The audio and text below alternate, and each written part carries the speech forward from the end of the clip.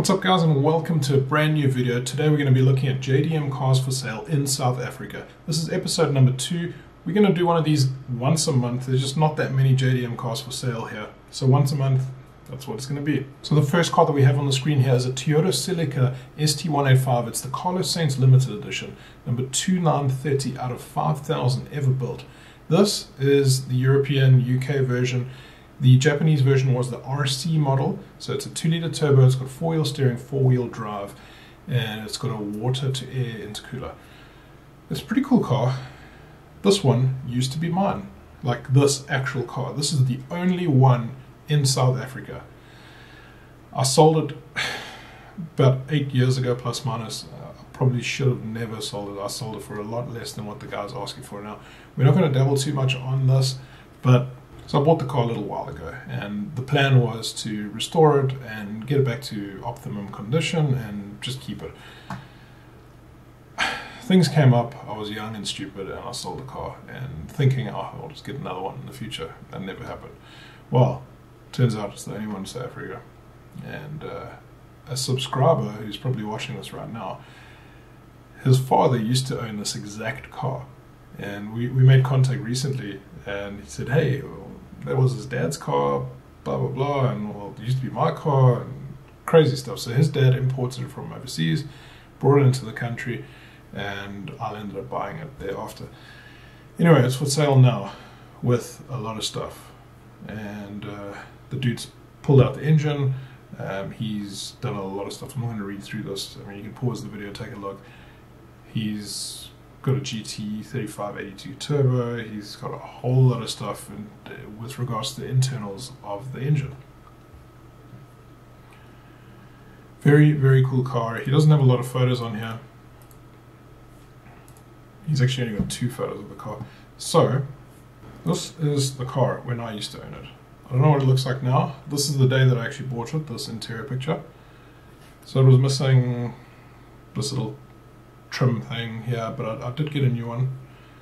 Gear lever, I don't remember if I changed, I don't think I got around to it, but I had the, the, the Mats Recon and it came out really well.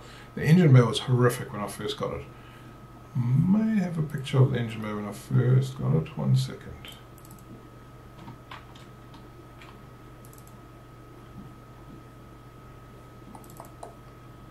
That was the engine bay when I first got it. Not so great. So look at that metadata on the picture. 2013 07 2020 21. Taken from an iPhone 4S. Okay, so 2013, and then I placed the order for the GTR at the end of 2013. So I sold this in 2013. Anyway, this is my old car. There's my old Subaru in the background. And we're spending too much time on this. Right, that was my old car. Very cool owners immigrating, and uh, well, he needs to get rid of it. Moving on.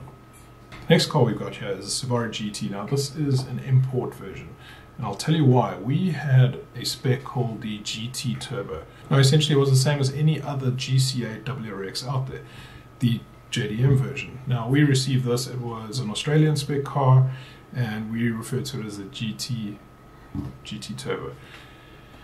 EJ20 turbocharged, all-wheel drive, all the bells and whistles. This is a 1996. We only got ours in 98, 97, 98. It looks different when you when you start looking at the interior. There's a picture here somewhere. Okay, so ours we didn't have a gear lever rubber thing like that. We had full leather. The dashboard was very different to this. This is the JDM style dashboard. Um, with regards to the engine bay, it's, it's not the cleanest by any means. But if the car is running, it's actually still a decent deal. There's an issue with this car that I picked up. And I find it kind of strange. And it looks like it might have a resprayed front end. So this front end doesn't belong to this car at all. This front end is from an only aspirated version. And you can actually see by those little slits there in the front. Color looks slightly more milky than the rest of the car. I think there was front end damage and they replaced it with a non-turbo front end. So not a bad buy if you're a first time JDM owner. It's probably the car to go for. Get that, change the front bumper, change the rear, ta- rear tail lights, put those clear ones in, and you'll have a pretty decent deal. Moving on, get some rotary action. Expensive rotary action. This, don't get me wrong, it's a beautiful car. a lot of money. 330,000 Rand, which equates to 24,000 US dollars. Now, he does have what seems to be like some wide body kit. No idea on the brand. Um, bonnet, I have no idea. Looks like a charge speed, maybe. Before we get into this rotary action, I want to take a look at the description very quickly. So, it's SA registered. Valid license, body condition excellent. The motor has been done by AJ Racing. AJ Racing builds some of the best rotaries in South Africa. Best components used from Japan. HKS TO4Z, so old school ball bearing turbo. He's got Tein full race coilovers. Uh, he's got Cusco internal roll cage, Cusco strut braces. He's got raised wheels. RE V-mount intercooler 5 litre surge tank with extra Bosch fuel pumps. I'm sure there's a lot more stuff that he didn't list. Like, I don't know, are those Ganadors? Are they real? Right. HKS Super Power Flow intake. Polished alloy. Intercooler piping. Can't really see much here. Does have one of those dampeners, engine dampeners. Brake brace thing. Ah. That's what he was talking about. That is super cool. I like that. Sparco steering wheel, Defi gauges. Missing the little trim piece here. Minor, minor stuff. Here's the surge tank. Stripped rear seats. Holy shit. He's got a full parts list here. HKS GT2 wastegate. I wonder if he got all of the stuff from Japan or did he did he buy the car like this and did a few minor mods? Crazy, crazy, crazy. Name brand, name brand, name brand, name brand. I see why he's asking that money for this car. Aha, they are Ganadors. Ganador carbon mirrors, full respray, REM. Oh shit. It's not a charge speed, it's not a feed kit, it's a REM carbon hood. Damn, you got a lot of stuff in the car. Can't look at it anymore. Let's move on. Okay, this one's super cool and it's cheap as well. Mitsubishi Evo 4, 82,000 Rand for this car. In dollars, that is $5,800 plus minus. This, however, cannot be registered in South Africa. So as you can see, this car is registered in Botswana. I can help with the change of ownership change of ownership into Botswana, but not into South Africa. So it kind of sucks. Can't legally drive this car as a South African citizen. It is, however, a cool car for the price. Love one of these. Right, moving on, we've got an exotic car for sale. It's a Mitsubishi GTO. Exotic car. Okay, I don't know. It's a 1997 now he puts here 3000 GTO, so it should either be a 3000 GT or a GTO. It's not the same. This is a GTO, as you can see by the back.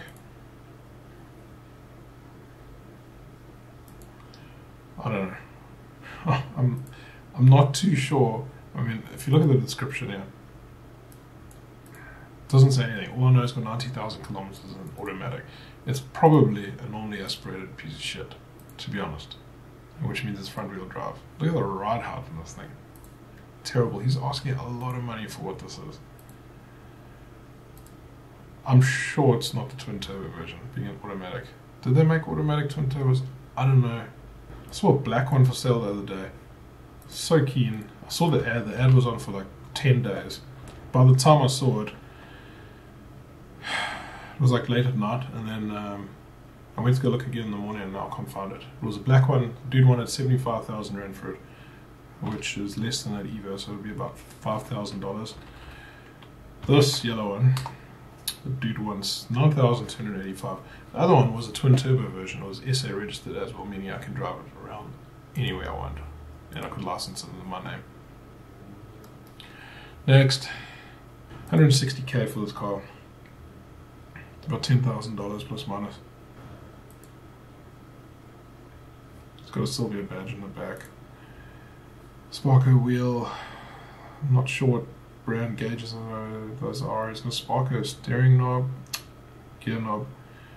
He's got a Apexi AVCR boost controller.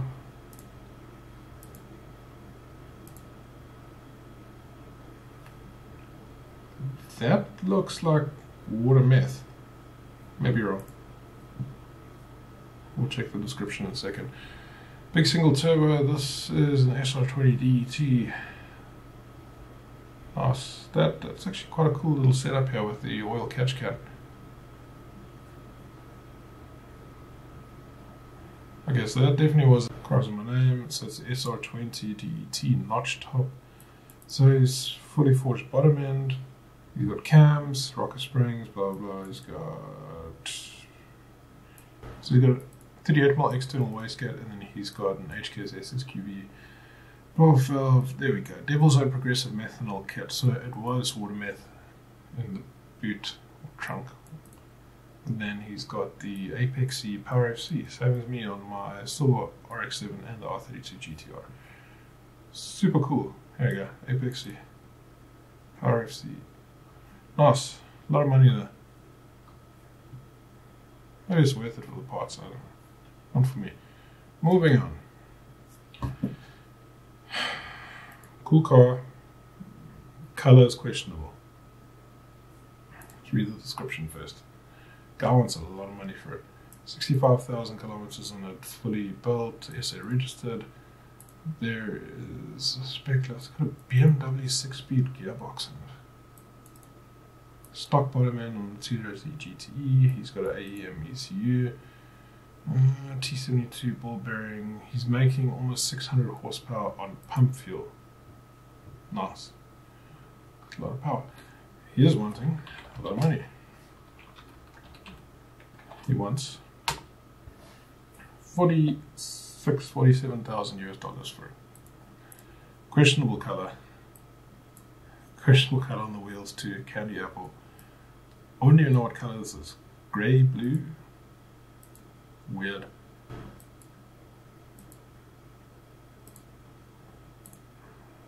I don't know. I know that's for the speed and sound card. I did see it in one issue. That is um, Greddy OLED boost controller thing. I forgot the full name of it. It was a Greddy device. Oh, there we go. Speed and Sound magazine. Don't look for happiness, build it. Nice engine bay. Super neat. I would have gone with this color in the engine bay only, maybe. I don't know. Your car, whoever buys it can respray it. Nice. Good job. Moving on to the final few Skylines. Found this R33, asking a lot of money for it. No details. Contact for more details. So I can tell you right off the bat that looks like a GT35 something. Uh, he's got that cool Tomei um, see-through doohickey here. I'm lost words tonight to my sticker thing. Jeez, I can't talk. That's my oil cap.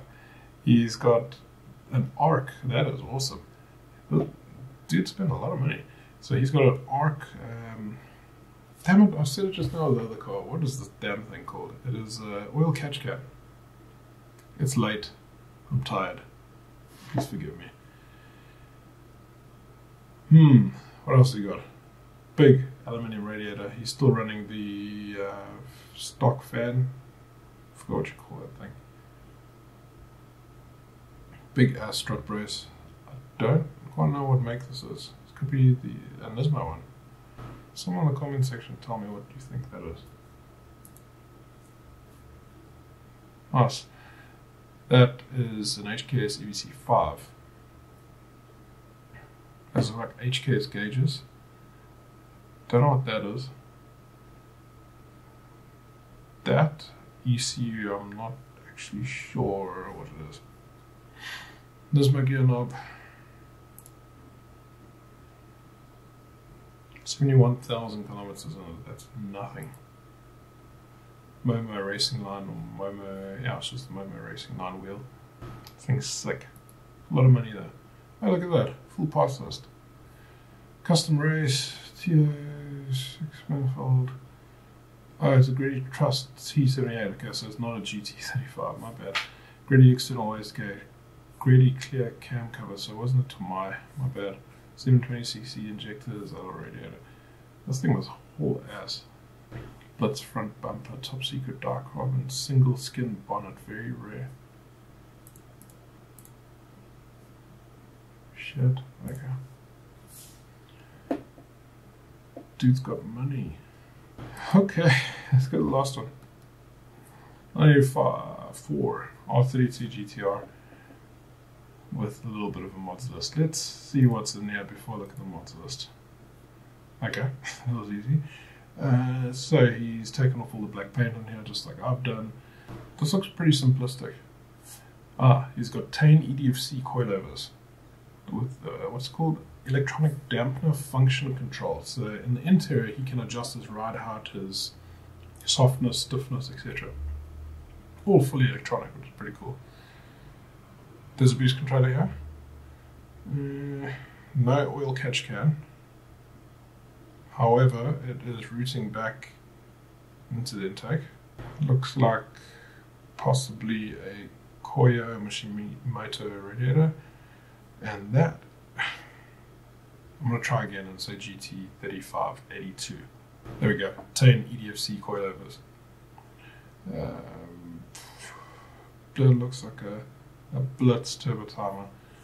Don't know what gauge that is. Oh, dude's got an Evo as well. Lucky you.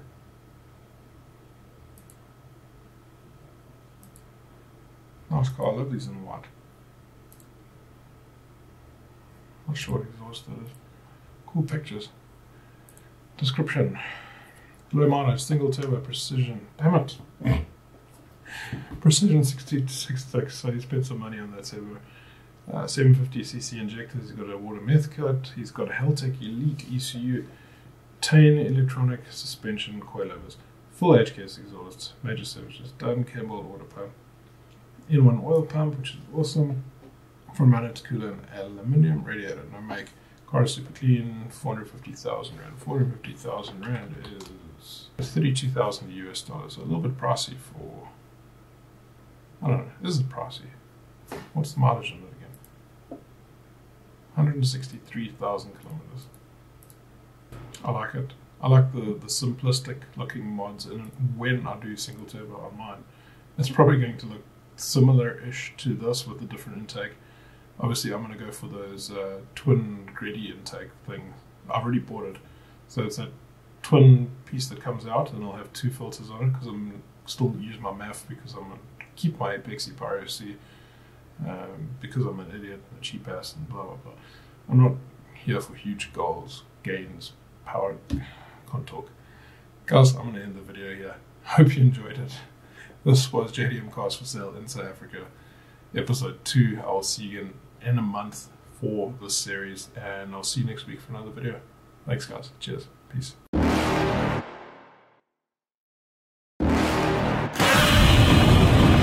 You're never gonna make it, you're not good enough. There's a million other people with the same stuff. You really think you're different? Man, you must be kidding. Think you're gonna hit it, but you just don't get it. It's impossible, it's not probable, you're irresponsible. Too many obstacles, you gotta stop it, yo. You gotta take it slow, you can't be a pro. Don't waste your time no more. Who the fuck are you to tell me what to do? I don't give a damn if you say you disapprove. I'm gonna make my move, I'm gonna make it soon. And I'll do it cause it's what I wanna fucking do. Cause all these opinions and all these positions They come in in millions, they blocking your vision. But no, you can't listen, that shit is all fiction Cause you hold the power as long as you're dreaming